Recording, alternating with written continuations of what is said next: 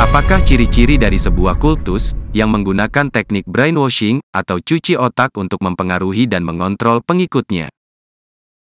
Menurut buku Thought Reform and the Psychology of Totalism, A Study of Brainwashing in China, yang ditulis oleh Robert J. Lifton menjabarkan adanya delapan ciri-ciri dari teknik brainwashing.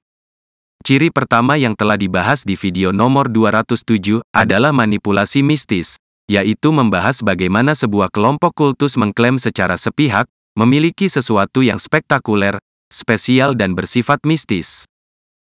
Dan ciri kedua yang akan dibahas di video ini adalah dispensing of existence. Apakah dispensing of existence itu? Dan apa buktinya tanda kedua teknik cuci otak ini bisa ditemukan di dalam ajaran saksi Yehua dan Gereja Katolik Roma. Saksikan terus video ini sampai tuntas agar Anda tidak salah paham.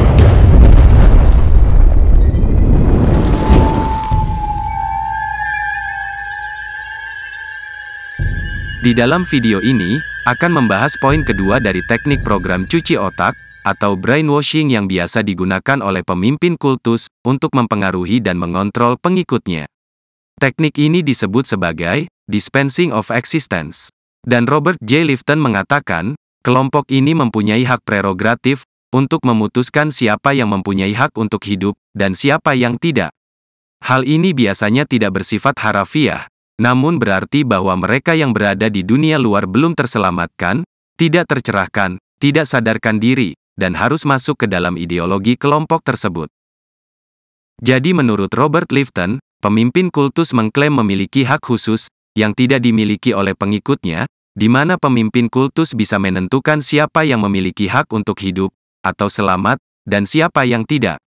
Pengertian hak untuk hidup atau tidak, atas kehidupan anggota itu, tidak selalu dalam pengertian secara harafiah, melainkan bisa dalam pengertian kiasan.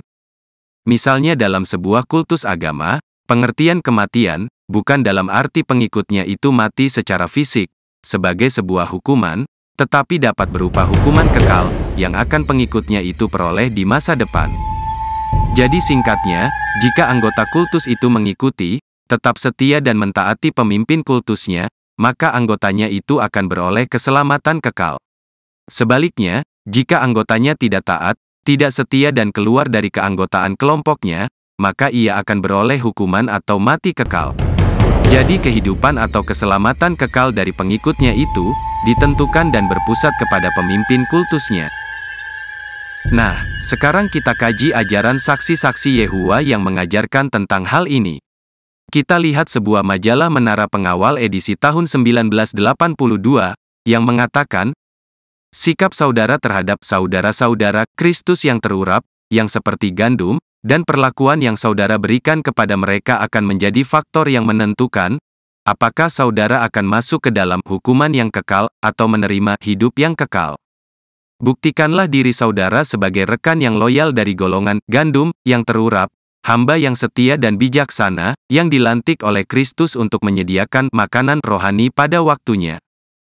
Di dalam kutipan ini, pemimpin tertinggi saksi Yehua, yang disebut dengan istilah, sebagai saudara-saudara Kristus yang terurap, atau hamba yang setia dan bijaksana mengatakan, bahwa hukuman dan hidup yang kekal itu, ditentukan oleh sikap dan perlakuan dari jutaan anggotanya, yaitu saksi-saksi Yehua, terhadap pemimpin mereka.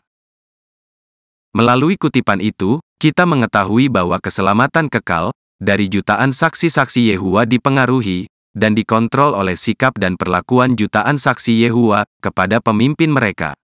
Jutaan saksi Yehua percaya bahwa pemimpin mereka bisa menyelamatkan. Jika jutaan saksi Yehua bersikap baik, loyal dan tunduk kepada pemimpin mereka, maka mereka beroleh hidup kekal. Jika sikap dan perlakuan buruk kepada pemimpinnya, maka para saksi Yehua akan beroleh hukuman kekal. Sekarang kita tahu, bagaimana teknik pemimpin saksi Yehua mempengaruhi dan mengontrol kehidupan jutaan anggotanya, agar mau tunduk dan bersikap loyal kepada pemimpinnya. Tentunya di dalam ajaran Kristen, apa yang diajarkan oleh saksi-saksi Yehua ini, yaitu keselamatan atau hukuman kekal ditentukan, oleh pemimpin saksi Yehua, memiliki dua masalah besar. Yang pertama ajaran ini, adalah ajaran bidat, karena keselamatan atau hukuman kekal itu hanya bisa diperoleh melalui Tuhan Yesus. Manusia-manusia seperti pemimpin saksi-saksi Yehua tidak memiliki hak untuk memberikan keselamatan atau hukuman kekal.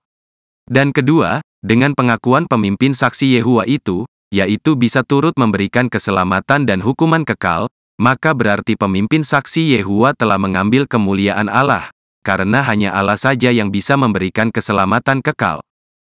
Dengan demikian, secara tidak langsung, para pemimpin saksi-saksi Yehua adalah para penghujat Allah, dibandingkan sebagai hamba-hamba Allah.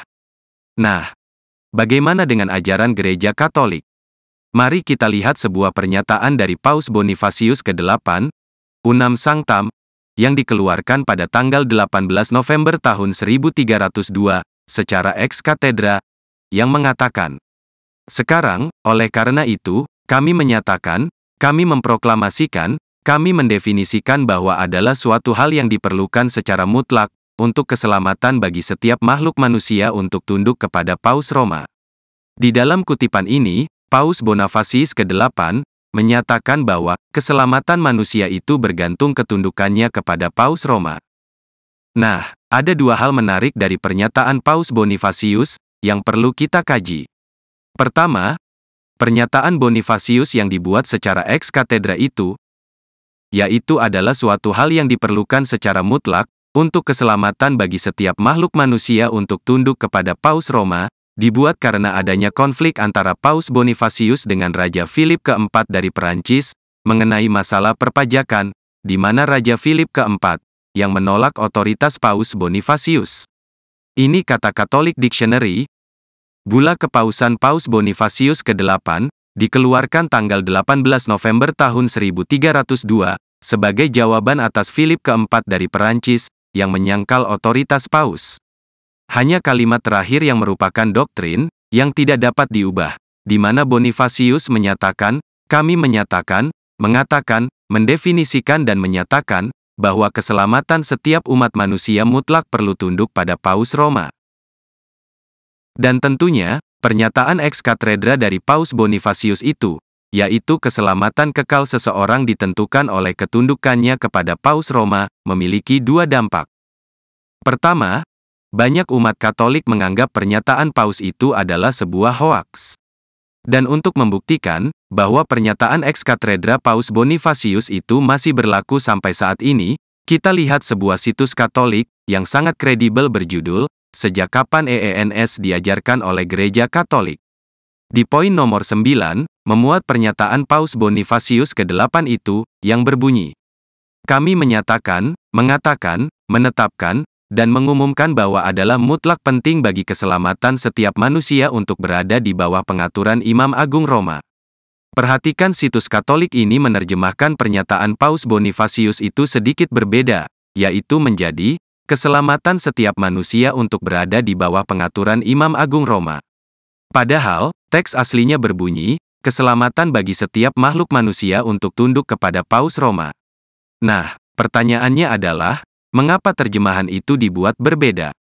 Dan ini dugaan saya, yaitu jika diterjemahkan, bahwa keselamatan setiap manusia dikaitkan dengan ketundukannya kepada Paus Roma, maka pernyataan Paus itu adalah sebuah pernyataan yang kontroversial, karena tidak memiliki dasar Alkitabnya. Oleh karena itu, pernyataan Paus itu perlu diperhalus. Kedua, menurut saya ini menariknya, yaitu pernyataan ex katedra dari Paus Bonifasius itu dibuat saat ia berkonflik dengan Raja Philip keempat. Hal ini membuat kita bertanya-tanya dan menduga-duga apa sih motivasi Paus Bonifasius mengeluarkan pernyataannya yang menghubungkan keselamatan kekal seseorang dengan ketundukan kepada posisinya sebagai Paus Roma. Nah, saya persilakan Anda, sebagai penonton channel ini menyampaikan pendapat di kolom komentar. Poin kedua, dan rupanya, masalah ketundukan atau ketaatan umat Katolik kepada pausnya untuk memperoleh keselamatan, merupakan salah satu ajaran yang cukup sentral, di dalam ajaran gereja Katolik Roma. Sebagai buktinya, Mari kita lihat satu lagi kutipan pernyataan dari Paus Clemens keempat, yang mengatakan, Tidak seorang pun, di luar iman dari gereja dan ketaatan kepada Paus Roma dapat diselamatkan pada akhirnya. Bagaimana menurut Anda mengenai topik video ini? Apakah ketaatan dan ketundukan kepada pemimpin saksi-saksi Yehua, ataupun kepada Paus Gereja Katolik Roma, bisa menyelamatkan pengikutnya? Dan bagaimana konsep keselamatan yang diajarkan Alkitab? Silahkan Anda berkomentar.